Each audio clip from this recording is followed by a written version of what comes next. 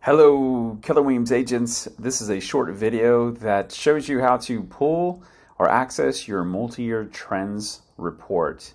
Uh, each month, Keller Williams, uh, when we transmit, we have all the numbers finalized, the listings taken, the closed units, the volume, the GCI, the 1099, all the numbers uh, compiled into one place for you. And so each month around the I don't know, eighth or ninth day of the month, uh, you can access uh, the new reports as they become available. And I'm here to show you in this video how to access it. So in the URL at the top, go to mykw.kw.com, mykw.kw.com. When you type in that uh, URL, you'll either give, be given the option to uh, log in with your username and password, or if you're already logged in, it'll take you directly to this page. If you do not remember or have your username and password, uh, just reach out to our front desk person or uh, Market Center Tech trainer and quickly get that username and password. So once you're logged in, click on the reports link here on the page right next to the picture. And once you click on reports, it's going to give you another option to locate the correct report, which is multi-year trends.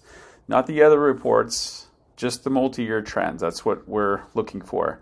So once you select multi-year trends, uh, voila, your multi-year trend report is going to pop up with all of the information, all the data up to date, uh, year to date, and then also it, it tracks your information back to the previous four years. So you've got uh, four years plus what you've done uh, this year.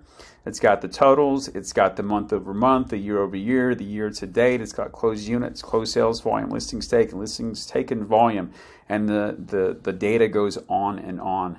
It um, keeps track of the GCI, the 1099, the average price point uh, for all of your sales.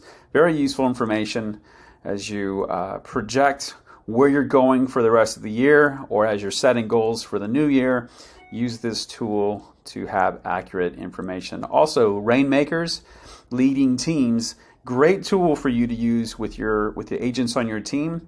Have teach them how to pull this report and then sit down with them and look at their numbers, have a high level discussion based upon factual data so you can lead them into more production and a bigger life. Hope you liked the video and uh, have an amazing day.